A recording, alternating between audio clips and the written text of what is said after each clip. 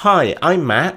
And I'm Dave. And in this Magento Basics tutorial, you're going to learn how to change your start page in Magento. That's right, so let's jump over across to Magento and we'll meet up there with you in a few moments' time. So after you log into Magento, by default you come to the dashboard. But Dave, the question is, what happens if I wanted to go straight to the orders page?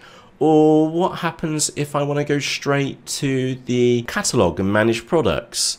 Yeah, I mean, the dashboard is fantastically useful for an overview, but if you want to log in and just, you know, first thing in the morning, see how many orders have come in overnight, then having the orders page as the default would be kind of handy. Yeah, that's right. And of course, if you spend most of your time creating products, for example, then it makes sense that you skip the dashboard and go straight into creating products. You can always get back to the dashboard by clicking on dashboard on the left hand side. But this tiny little change will help expedite and save you some time each day. Now Dave, this is a hidden setting. I only found it by accident a couple of days ago. And if you go to system, down to configuration, and then when the configuration section opens up, you need to scroll right down to the bottom and then I'm going to pause and highlight this for you and you're after the admin section on the left hand side. So let's click into admin. Now these tabs may be all collapsed. Okay, so let me go and collapse those.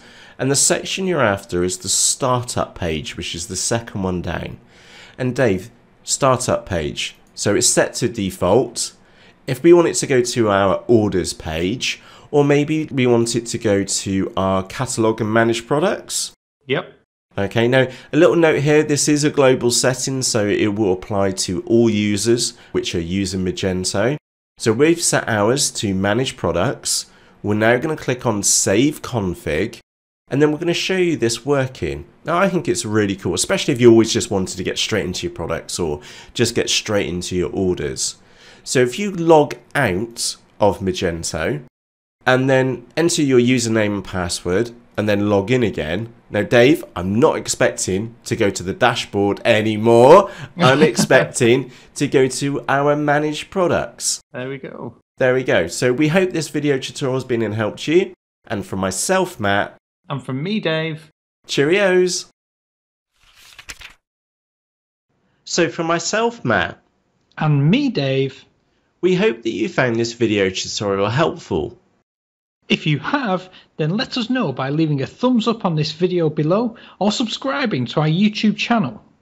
We believe to use Magento, you don't need a degree in Nerd, and we've created you over 300 step-by-step video tutorials at understandinge.com to help you. In these tutorials, you'll learn how to use Magento with no prior knowledge how to build a fully responsive Magento website for just $99, which is about 65 quid. How you can use Magento to sell on eBay and Amazon with M2E Pro. And you'll be joined by over 6,000 fellow business owners just like you. And the best part is, it's free to join. So for myself, Matt. And me, Dave. We'll see you there. Cheerios!